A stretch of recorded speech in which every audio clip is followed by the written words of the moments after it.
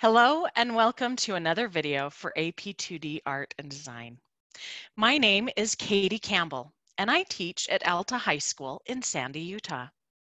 I don't know about you, but at this time of the year, my AP students are stressed out. So before we get started, I would like us to all take a mindful moment. We're going to breathe in for a count of five, hold for a count of five, and breathe out for a count of five. Go ahead and close your eyes and breathe in. Three, four, five. Hold. Two, three, four, five. Breathe out. Three, four, five. Let's do that one more time. And breathe in. Three, four, five. Hold. Two, three, four, five. And breathe out. Three, four, five. That feels good. We can do this. More importantly, you can do this. So let's get started. Today's video focuses on the elements and principles of design explained.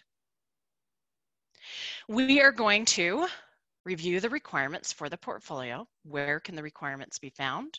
How have the requirements changed? We're going to take a look at the vocabulary listed in the rubric. Where can the vocabulary be found? Identify which of the principles of art and design seem to be most confusing, and look at artwork that visually represents those principles of art and design. You probably already know where to find the course exam description, which contains all of the requirements for the portfolio. So this slide may be your review. In my class at the very beginning of the year, I handed out copies of both the course exam description and the rubric and showed my students how to get onto AP Central. You may also know that the requirements for the portfolio have changed. Instead of submitting 15 images for the sustained investigation, you are now responsible for submitting 10. Now notice that I said images, not works. In the sustained investigation, you can use process images.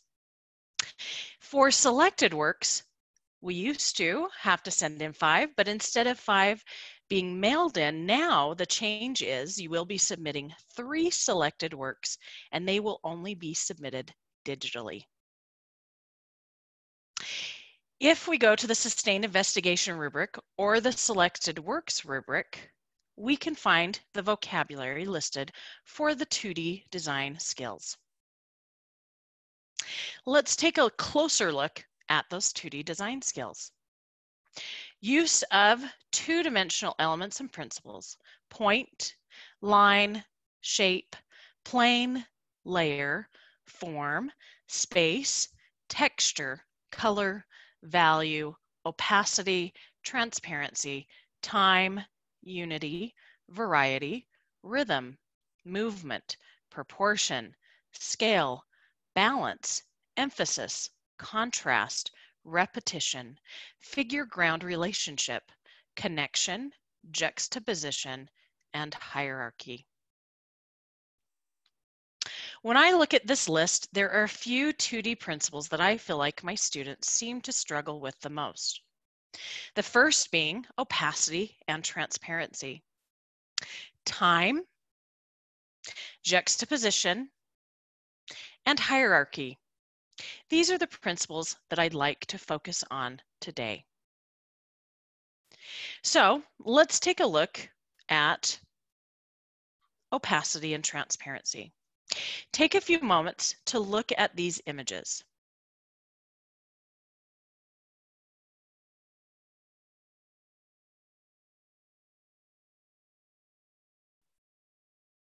Opacity and transparency is used to describe how much light can pass through an object or a layer, ranging from transparent through translucent to opaque.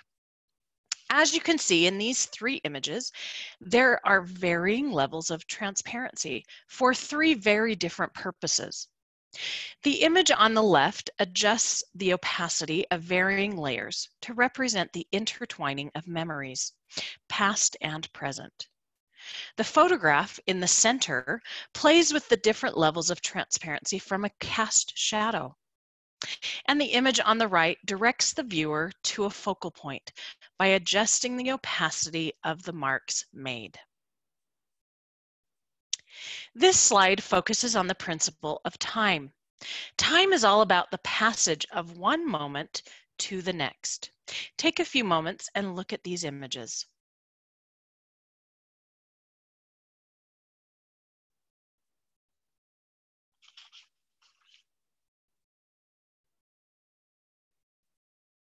As you know, we don't currently have the ability to submit video. So time can be a tricky principle to represent.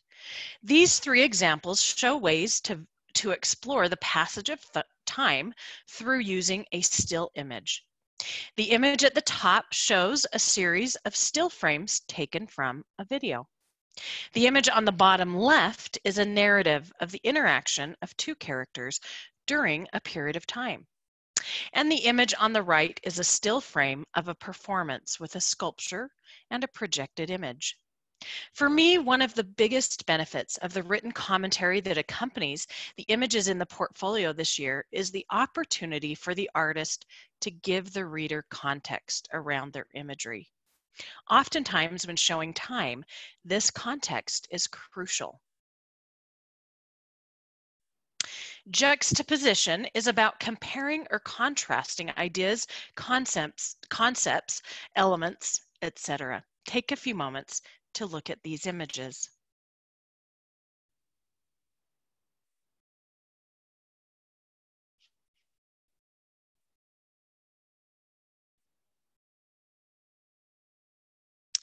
Each of these three images presents two things placed close together in contrast with one another.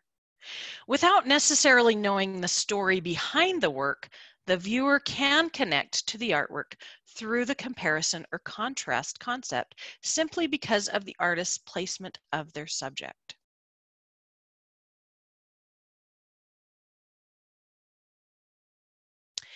When we talk about or look at hierarchy, we are considering the organization of what we see, pay, paying close attention to what is dominant or what is implying importance. As you design levels of dominance, you create visual hierarchy in the design. Ideally, the visual hierarchy will match the conceptual hierarchy seen in the content. Take a few moments to look at these images.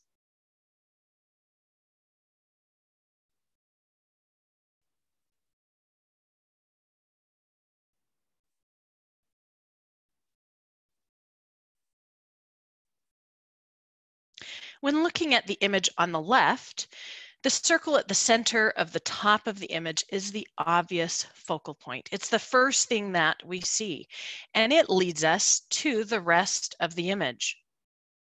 In the top image on the right, we see figures behind lines of string or something. Not sure what is dominant until we get to the arm that is extending beyond those lines, breaking through that plane. At that point, we realize that the figure is the important dominant layer. So look back at this photograph, the image on the top right. As soon as that arm and elbow poke out, the line that that arm and elbow create take us past the plane of string into the figures, and that becomes our focal point. In fact, at that point, sometimes those strings or bands almost disappear. We don't notice them as much because we're focusing on the dominant subject.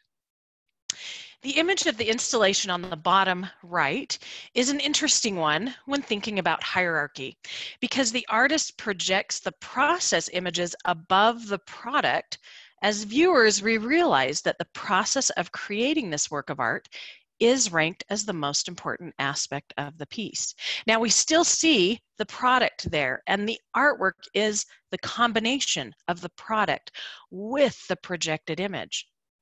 But what is most important? What takes the hierarchical importance is the process that we see happening in those projected images.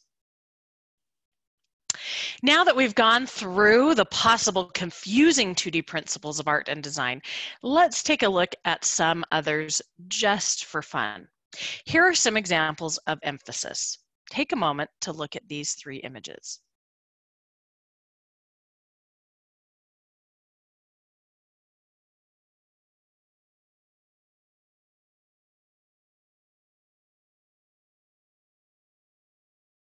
Take a look at the variety of materials used. There is no limit to what material can or cannot be used for a 2D work of art. And especially at this time when we're working with materials that we have at home, open your mind to what materials might be around that you can use to create your art and designs. I also want you to notice that almost all of the examples that we are looking at utilize multiple 2D principles of art and design. I may be pointing out one and using that image as an example for that one principle. However, the reality is that most artists use many of the 2D principles together. For example, the image on the far right fits with repetition and pattern as much as it fits with emphasis. The image on the top left fits with space and movement, texture and unity as much as it fits with emphasis. These two works are fun examples of pattern and repetition. Take a moment to look at these images.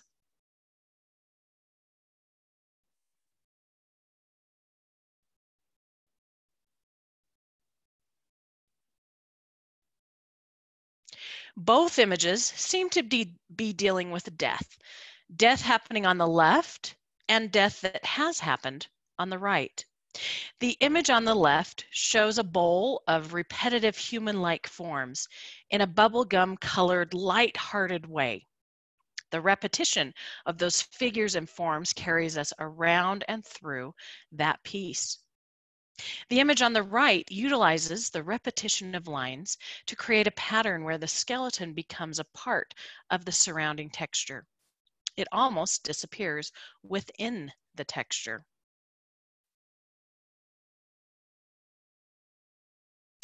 These two examples play with the idea of figure-ground relationship.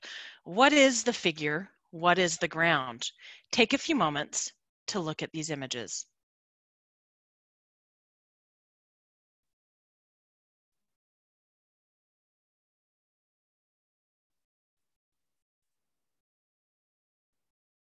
The image on the left has an ambiguous figure-ground relationship, which means we're not really sure what is the figure and what is the ground.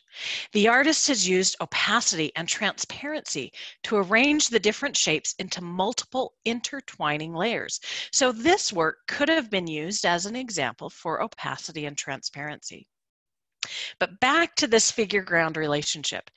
The artist has also used complementary color schemes on the left to create dynamic contrast. And then on the right of this image, you see analogous colors that bring the flow of the piece back into balance. So I chose this piece specifically because it does bring the question, what is the figure and what is the ground? The image on the right, if you look carefully, has removed the face and arm of the figure, allowing the viewer to question, what is the most important information here? Is it the figure or the surrounding area, the ground? Not sure. And that question is what the artist has created for us. Once again, an artist rarely isolates a principle of art and design. More often than not, there are more than one of the principles at play in any work of art. When we are looking at and using the 2D principles of art and design, don't be afraid to push the limits. Combine the principles and utilize them to bring your ideas together. So let's review. Make sure that you know the requirements for the portfolio. Look at the vocabulary listed in the rubric. and create artwork that shows visual elements, evidence, visual evidence, sorry, of the principles of art and design. We know that these are difficult times, and the College Board is here for you. If you need mobile tools or connectivity or know someone who does, please let us know. Thank you for joining me. Please don't forget to take a mindful moment and just breathe. And then get back to creating amazing artwork. You can do this.